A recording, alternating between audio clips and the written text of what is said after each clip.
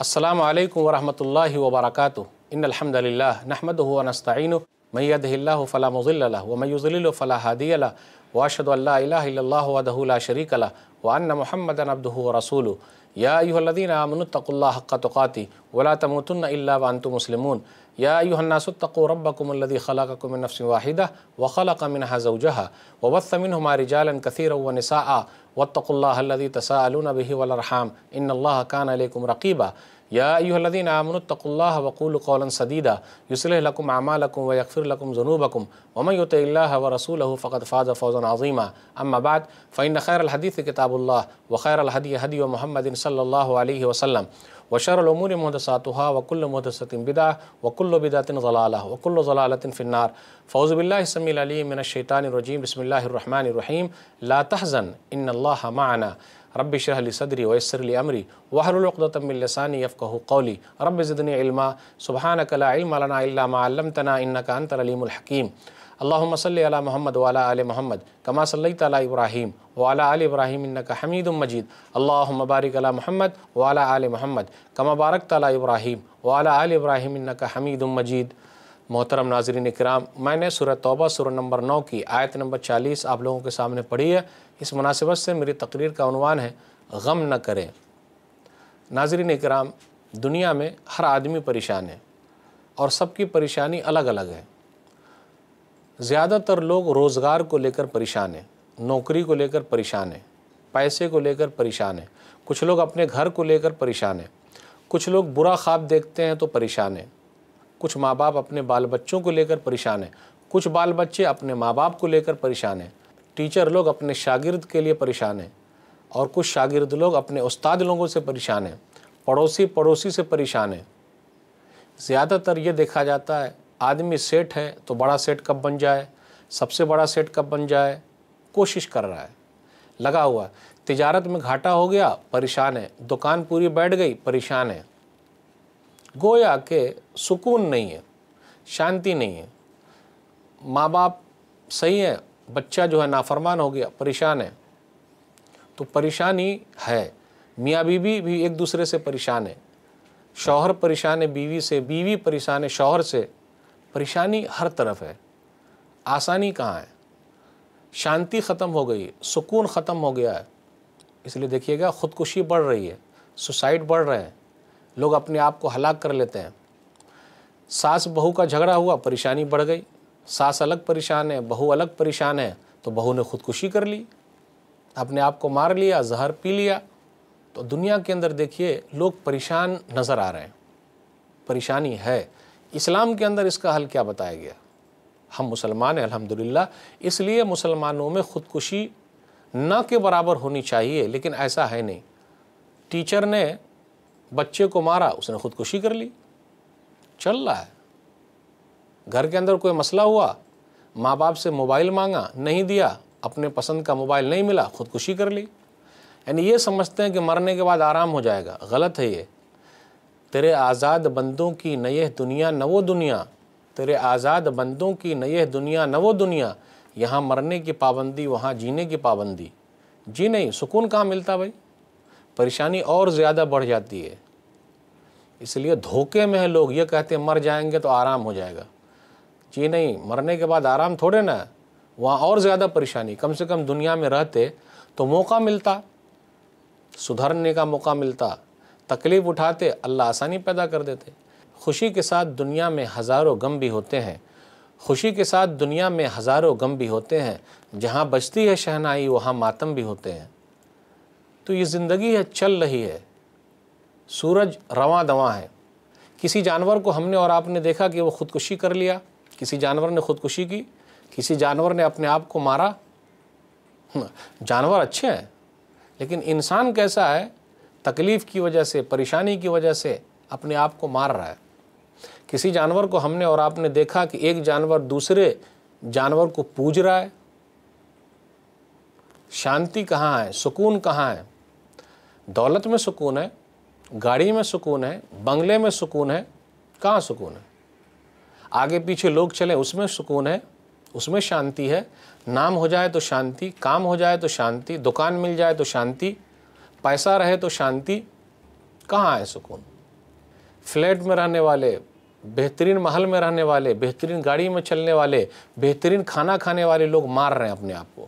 خودکشی کر رہے ہیں، سوسائڈ کر رہے ہیں۔ پریشانی کی وجہ سے بھی کر رہے ہیں، آسانی کی وجہ سے بھی کر رہے ہیں۔ کیوں؟ قرضہ معاف نہیں ہوا، خودکشی کر لی اپنے آپ کو مار لیا۔ پریشانی جب بھی آئے تو اسلام نے جو حل بتایا ہے، ہمیں اور آپ کو اس طریقے پر چلنا دل کو سکون ملے گا۔ اگر نہیں چلیں گے تو پریشانی اور بڑھتی جائے گی۔ ایک حدیث پڑھتا ہوں جس کے اندر پانچ چیزوں کا ذکر ہے۔ اگر ہم اور آپ اپنی زندگی اس حدیث کے حساب سے کر لیں تو الحمدللہ مسئلہ حل ہے، پریشانی نہیں۔ اس کے اندر محرمات ہے، نفسیات ہے، سماجیات ہے، ذاتیات ہے، اخلاقیات ہے، یہ پانچ چیزیں ہیں۔ اب اس کے بارے میں بتاؤں گا۔ محرمات، کون سی چیز حرام ہے؟ کیونکہ اپنی زندگی اگر ہم اور آپ چاہتے ہیں آرام سے چلتی رہے، تو ہمیں اس حدیث کے حساب سے چلنا پڑے گا۔ اگر چلتے ہیں، تو شانتی ملی رہے گی۔ آئیے حدیث کی روشنی میں ان پانچ چیزوں کو سمجھ جائیں۔ محرمات، نفسیات، سماجیات، ذاتیات، اخلاقیات۔ غور کریں، دیکھیں۔ سرنترمزی کتاب الزہد، کتاب نمبر چونتیس، حدیث نمبر دو ہزار تین سو پانچ۔ ابو حرار رضی اللہ تعالیٰ نے بیان فرماتے کہ نبی صلی اللہ علیہ وسلم نے فرمایا، من یاخذ انی حاضح الکلیمات فیعمل بہن او یعلم من یعمل بہن چند باتیں میں بتا رہا ہوں۔ کون ہے جو عمل کرنے کے لیے مجھ سے لے لے۔ دیکھیے، عمل کرنے کے لیے۔ باتیں ہم اور آپ بہت ساری سنتے ہیں۔ عمل کرنے کے لیے لے لے۔ یا پھر جو عمل کرنا چاہتے ہیں، اسے سکھانے کے لیے لے لے۔ تو ابو حرار رضی اللہ تعالیٰ عنہ فرماتے ہیں، انا یا رسول اللہ اللہ کے رسول صلی اللہ علیہ وسلم، میں ان باتوں کو لینے کے لیے تیار ہوں۔ دیکھا آپ نے؟ زیادہ لینے کی ضرورت کیا؟ اپنی لائف میں ہم اور آپ لے آئیں دیکھیں تبدیلی آ جائے گی۔ تو ابو حرار رضی اللہ تعالیٰ عنہ بیان فرماتے ہیں فعخذ بیدی فعد خمسن تو رسول اللہ صلی اللہ علیہ وسلم نے میرے ہاتھ کو پکڑا اور پانچ چیزیں گنائی۔ نمبر ایک، اتق المحارم تکن اعبد الناس۔ ابو حریرہ حرام چیزوں کو چھوڑ دو، تم لوگوں میں سب سے زیادہ عبادت گزار ہو جاؤ گے۔ یاد رکھیے گا، جتنی حرام چیز ہے، اس کو اگر چھوڑ دیتے ہیں، تو لوگوں میں سب سے زیادہ عبادت گزار ہو جائیں گے۔ حرام چیز چھوڑتا کون ہے؟ مال کمانا ہے، حلال رہے، حرام رہے، اس کی ٹوپی اس کو پہنا دیا، اس کی اس کو پہنا دیا، مال آنا چاہیے۔ نبی صلی اللہ علیہ وسلم فرماتے ہیں کہ شانتی اگر چاہیے، اتق المحارم تکن اعبد الناس۔ ابو حرارہ حرام چیزوں کو چھوڑ دو، تم لوگوں میں سب سے زیادہ متقی پرہیزگار ہو جاؤ گے۔ ایک چیز ہو گئی۔ دوسری چیز ورز بما قسم اللہ لک تکن اغن الناس۔ اور اللہ تعالیٰ نے تمہاری قسمت میں جتنا لکھا ہے تم اس پر راضی ہو جاؤ۔ تم لوگوں میں سب سے زیادہ مالدار ہو جاؤ گے، بے نیاز ہو جاؤ گے۔ تقدیر کے فیصلے پر اگر ہم اور آپ راضی ہو گئے، تو مسئلہ حل ہے۔ ہم سے بڑا مالدار کوئی نہیں ہو سکتا۔ لیکن بھلا بتائیے، ہم اور آپ راضی ہیں؟ اگر راضی ہوتے تو خودکشی کیوں کرتے؟ بھئی اللہ نے میری تقدیر میں جتنی روزی روٹی لکھی ہے، اتنی روزی روٹی مل کے رہے گی۔ اللہ نے جو پریشانی لکھی ہے وہ پریشانی مل کے رہے گی، وہ پریشانی آ کے رہے گی۔ تو ہم کیا گھبرائیں؟ تو اس حدیث میں پانچ چیزیں ہیں۔ اگر اپنی زندگی میں ہم اور آپ لے آئیں تو شانتی ملی رہے گی۔ تو نبی صلی اللہ علیہ وسلم نے فرمایا، ورز ما قسم اللہ لک تکن اغن الناس۔ اللہ نے تمہارے لیے جو تقدیر میں لکھ دیا ہے، تم اپنی تقدیر پر راضی ہو جاؤ، تم لوگوں میں سب سے بڑے مالدار ہو جاؤ گے۔ دو چیز ہو گئی۔ تیسری چیز وہ احسن علاجاری کا تکن مومن اور اپنے پڑوسی کے ساتھ تم اچھے ہو جاؤ، تم پکے مومن بن جاؤ گے بھلا بتائیے، اپنے پڑوسی کے ساتھ ہم اور آپ اچھے ہیں؟ شانتی وہاں بھی ہماری بھنگ ہو رہی ہے نا۔ اب ہم اور آپ نکلتے ہیں۔ صبح کے وقت نکلے، دوپہر میں نکلے، شام میں نکلے، پڑوسی کے ساتھ ہمارے تعلقات نہیں ہیں، اچھے نہیں ہیں۔ تو ہمیشہ ٹینشن رہتا ہے، پریشانی بڑھی ہوئی رہتی ہے۔ نبی صلی اللہ علیہ وسلم نے کیا فرمایا؟ اپنے پڑوسی کے ساتھ تم اچھے ہو جاؤ، پکے مومن بن جاؤ گے۔ تین چیز ہو گئی۔ چوتھی چیز، وہ احب الناس ما تحب لنفسی کا تکن مسلمن اور تم لوگوں کے لیے وہی پسند کرو جو تم اپنے لیے پسند کرتے ہو، تو تم پکے مسلمان ہو جاؤ گے۔ ہے اپنی زندگی میں، بھلا بتائیے۔ ہم جو اپنے لیے پسند کرتے ہیں، وہ لوگوں کے لیے پسند کریں۔ ہے ہماری زندگی میں۔ اگر ہے تو ہم پکے مسلمان ہیں، اگر نہیں ہے تو شانتی ہماری چلی جائے گی۔ ایک آدمی آتا ہے ہم سے پوچھتا بھائی صاحب، میں بھی ذرا نیا نیا آیا ہوں، تجارت کے میدان میں ذرا کچھ بتائیے گا۔ کوئی دکاندار بتاتا نہیں، کیوں؟ وہ آگے بڑھ جائے گا۔ ارے بھائی، اللہ نے پیدا کیا ہے، روزی روٹی کا انتظام اللہ کرتا ہے۔ آپ کے بتانے سے آپ کی دکان تھوڑے نہ بند ہو جائے گی۔ اللہ سب کی دکان کو چلا رہا ہے، سب کی روزی روٹی کا انتظام اللہ کرتے ہیں۔ تو نبی صلی اللہ علیہ وسلم نے فرمایا، جو تم اپنے لیے پسند کرتے ہو، اپنے بھائی کے لیے بھی وہی پسند کرو، تو تم پکے مسلمان ہو۔ اگر ہماری زندگی میں، آپ کی زندگی میں یہ چیز آ جائے، تو شانتی ملی رہے گی۔ پھر میں آگے بڑھنا چاہتا ہوں، تو میں اپنے بھائی کو بھی آگے بڑھانا چاہتا ہوں۔ وہ ہم سے مدد لیتا ہے، تو میں اس کی مدد کے لیے آگے ہوں۔ کتنے لوگ کام ہی خراب کر دیتے، راستہ غلط بتا دیتے، کہیں آگے نہ نکل جائے گا۔ اس لیے تو شانتی نہیں ملتی ہے۔ افسوس کر رہے ہیں پریشانی بڑھ رہی ہے۔ تو نبی صلی اللہ علیہ وسلم نے فرمایا، اب آخری بات جو اس حدیث کے اندر ہے، ولا تکسر ذہی کا فعین نہ کثرت ذہی کی تومیت القلب۔ زیادہ مت ہنسو، کیونکہ زیادہ ہنسنے سے دل مردہ ہو جاتا ہے۔ کامیڈین کو آپ نے دیکھا ہے، ہنساتے رہتے ہیں وہ۔ زیادہ ہنسنے سے دل مردہ ہو جاتا ہے۔ اور جب دل مردہ ہو گیا تو آدمی زندہ لاش ہے۔ اس لیے ذرا بچ کے رہیے، اللہ کا ڈر اور خوف پیدا کیجیے۔ تو یہ پانچ چیزیں ایسی ہے کہ اگر ہم اور آپ اپنی زندگی میں لے آئیں، شانتی بنی رہے گی، کچھ بھی ٹینشن نہیں رہے گا۔ اب حدیث کے اندر دیکھ لیجیے، پورے سماج کو ملا دیا گیا ہے، پوری سوسائٹی کا حل بتا دیا گیا ہے۔ تو ہم اور آپ چاہتے ہیں کہ ہمارا غم ہلکا ہو جائے، تو ہمیں اس حدیث کے حساب سے چلنا ہوگا۔ تو ہمارا غم آرام کے ساتھ ہلکا ہو جائے گا، ہماری پریشانی ختم ہو جائے گی۔ آئیے اور بھی دیکھتے ہیں کیسے ہماری پریشانی کم ہو سکتی ہے۔ ہماری پریشانی دور ہو سکتی ہے، ہمیں سکون مل سکتا ہے۔ آج لوگ شانتی کی تلاش میں ہیں۔ لوگوں کو شانتی چاہیے۔ ادھر جا رہے ہیں، ادھر جا رہے ہیں۔ بہترین پارک میں گھوم رہے ہیں۔ بہترین ملکوں میں جا رہے ہیں۔ آرام سے ہیں تاکہ سکون مل جائے، لیکن شانتی کہیں نہیں ہے۔ آرام سے رہے شانتی مل ہی نہیں رہی ہے۔ شانتی وہاں ملے گی جہاں اللہ نے شانتی رکھی ہے، سکون رکھا ہے۔ اللہ نے کیا کہا؟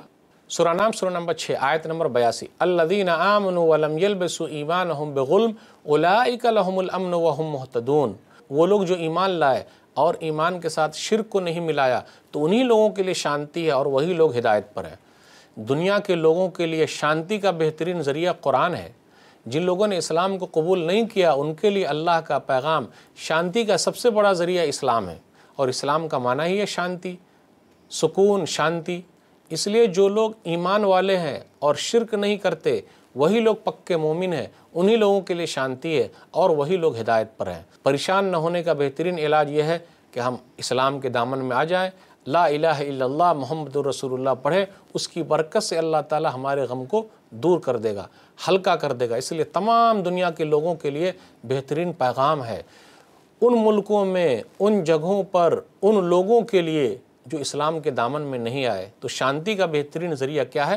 اسلام اسلام کا دامن ہے۔ شانتی حاصل کرنا چاہتے ہیں، سکون حاصل کرنا چاہتے ہیں۔ کیسے سکون حاصل ہوگا؟ پکے مومن بن کے رہیں۔ اگر کچے بن کے رہیں گے تو پریشانی بڑھ جائے گی۔ صحابہ کرام پکے مومن تھے، اس لیے ان کے لیے بہت آسانی تھی۔ جو بھی پکا رہے گا، ان کے لیے آسانی۔ جو کچے رہیں گے دیکھ ہی رہے آپ، پریشانی بڑھتی جا رہی ہے۔ اللہ نے کیا کہا؟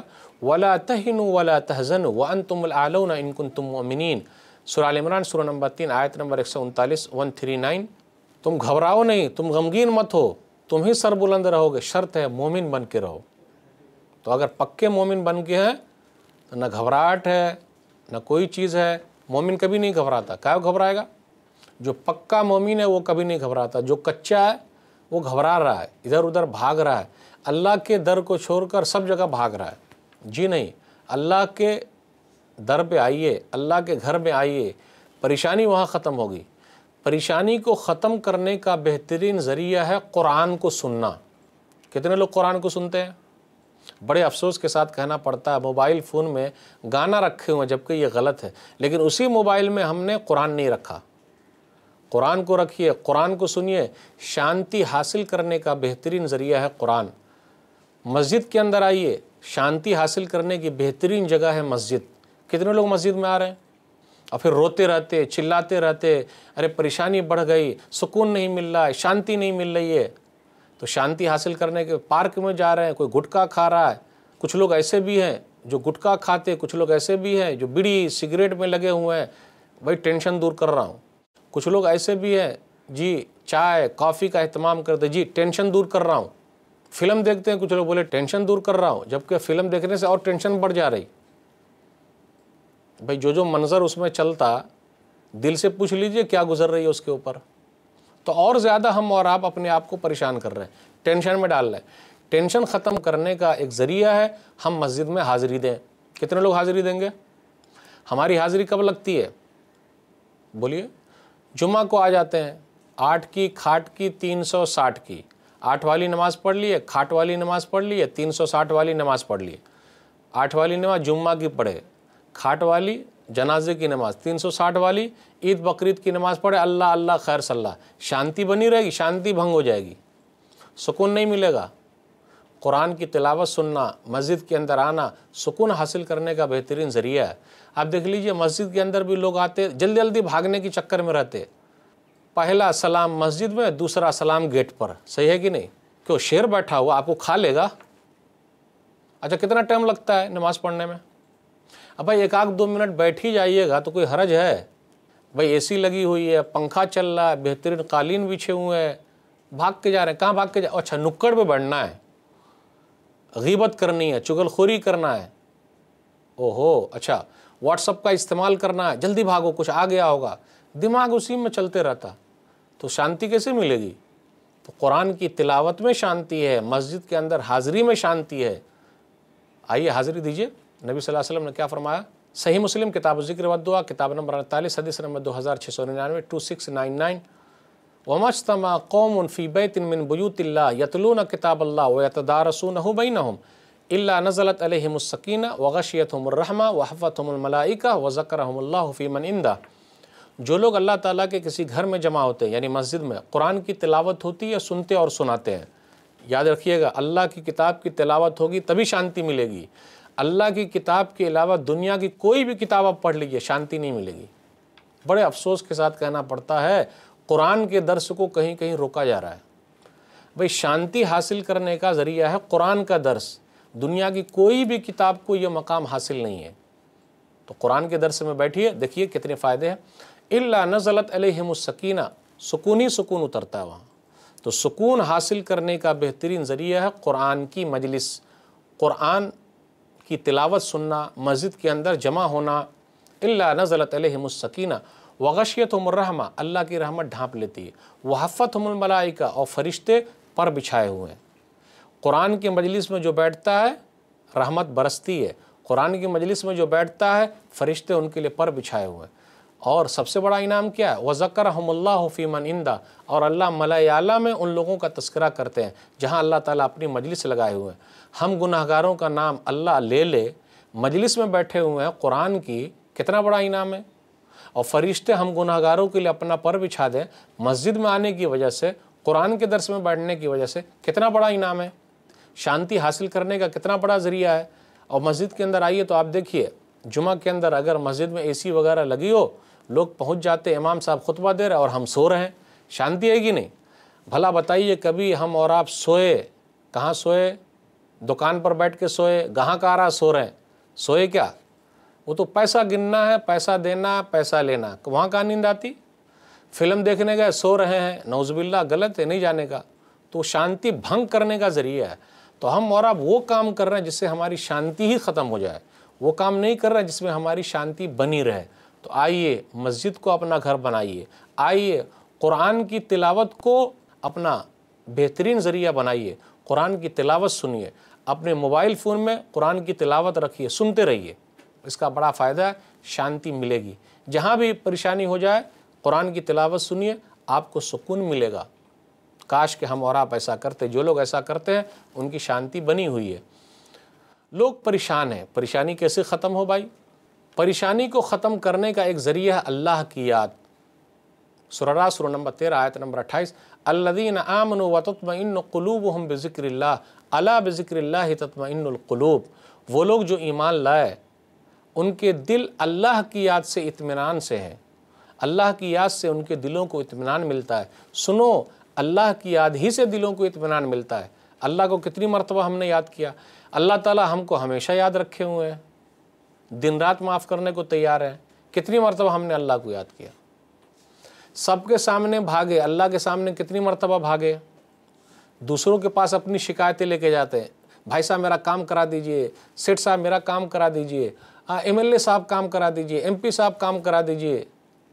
وہ کام کر دیجیے۔ اللہ کے سامنے کبھی آئے۔ اللہ کے سامنے کبھی ذکر کیا اللہ میرا فلاں کام کرا دے۔ آئیے، اللہ کو یاد کیجیے۔ اللہ کی یاد سے دلوں کو شانتی ملتی ہے۔ نہ دولت سے، نہ دنیا سے، نہ گھر آباد کرنے سے۔ نہ دولت سے، نہ دنیا سے، نہ گھر آباد کرنے سے تسلی دل کو ملتی ہے خدا کو یاد کرنے سے۔ یاد کر کے تو دیکھیے، شانتی ملی رہے گی۔ کم سے کم ہم اور آپ اپنے دماغ کو اسی میں لگائے رہیں گے تو شانتی ملے گی۔ بہت سارے لوگوں کا کہنا یہ ہے کہ اب بھائی قرآن پڑھیے، آپ کے لیے شانتی کا ذریعہ ہے۔ اللہ نے اس چیز میں رکھا ہے۔ اللہ کو یاد کیجیے۔ سبحان اللہ، الحمدللہ، اللہ اکبر کا ورت کرتے رہیے۔ لا الہ الا اللہ، محمد الرسول اللہ، پڑھتے رہیے۔ بھائی چل رہے ہیں ہم اور آپ۔ اب پڑھنے میں کیا حرج ہے؟ کیا ٹائم لگتا ہے بھائی؟ اللہ اکبر اللہ اکبر، الحمدللہ الحمدللہ سبحان اللہ سبحان اللہ سبحان اللہ پڑھتے رہیں، شانتی ملے گی۔ کیونکہ اس دماغ کو جتنا زیادہ ہم اور آپ مشغول رکھیں گے، اللہ تعالیٰ سکون نازل کرتا ہے۔ سکون حاصل کرنے کا ایک ذریعہ ہے کہ جب بھی گھبراہٹ آ جائے، گھبراہٹ بڑھ جاتی کچھ لوگوں کو، گھبرا جاتے ہیں ہم۔ تو کیا کرنے کا؟ اچانک کوئی پریشانی آ گئی تو کیا کرنے کا؟ ہم دیکھتے ہیں کہ نبی صلی اللہ علیہ وسلم ایسی گھبراہٹ کے لیے کیا کرتے تھے؟ سرنبی داؤد، کتاب الوطر کتاب نمبر آٹھ، حدیث نمبر ایک ہزار تین سو انیس ون تھری ون نائن حضیفہ رضی اللہ تعالیٰ نے بیان فرماتے ہیں، کان نبی صلی اللہ علیہ وسلم اذا حضب امر صلی کہ رسول اللہ صلی اللہ علیہ وسلم جب بھی گھبرا جاتے، یاد رکھیے گا رسول اللہ صلی اللہ علیہ وسلم جب بھی گھبرا جاتے تو نماز پڑھنے لگتے۔ بولیے، کر پائیں گے؟ گھبراہٹ ختم کرنے کا بہترین ذریعہ ہے نماز۔ ہو پائے گا کر پائیں گے، تو گھبراہٹ بنی رہے گی، شانتی نہیں ملے گی۔ تو سکون حاصل کرنا چاہتے ہیں، تو نماز کی پابندی ضروری ہے۔ اور اللہ سے مدد اگر لینا ہے، تو نماز کی پابندی ضروری ہے۔ ورنہ اللہ کی مدد ملنا مشکل ہے، کہاں ملتی؟ یا ایوہ الذین آمنوا استعینوا بالصبر والصلاح ان اللہ مع الصابرین۔ سورہ بقرہ، سورہ نمبر دو، آیت نمبر ایک سو ترپن۔ اے ایمان والو، صبر کے ذریعے اور نماز کے ذریعے اللہ سے مدد مانگو۔ اللہ صبر کرنے والوں کے ساتھ ہے۔ تو اس آیت کے اندر ہے کہ صبر کرنے میں شانتی ہے، نماز میں شانتی ہے، تبھی ہم کو سکون ملے گا۔ صبر کتنا کرنے کا؟ جب تک قبر میں نہ چلے جائیں۔ اللہ کن لوگوں کے ساتھ ہے؟ جو لوگ صبر کرتے ہیں، اللہ ان کے ساتھ ہے۔ تو ناظرین اکرام غم نہ کریں۔ غم کو دور کرنے کا بہترین ذریعہ ہے کہ ہم اور آپ قرآن و حدیث پر عمل کریں، اس کا بڑا فائدہ۔ چند چیزوں کا تذکرہ ہوا، انشاءاللہ آئندہ کے درس میں بھی تذکرہ ہوگا، کہیں جائیے گا نہیں۔ کیونکہ یہ ایسا درس ہے کہ ہر لوگ پریشان ہیں۔ وہ چاہتے ہیں کسی طریقے سے ان کو آسانی مل جائے اور ان کی پریشانی ختم ہو جائے۔ اللہ سے دعا ہے کہ اللہ تعالی ہم لوگوں کے دلوں میں شانتی پیدا کر دے، ہماری پریشانی کو اللہ دور کر دے۔ آمین و آخر دعوان الحمدللہ رب العالمین۔ وصلی اللہ علیہ نبینا محمد و علیہ و صحب اجمعین۔ والسلام علیکم ورحمۃ اللہ وبرکاتہ۔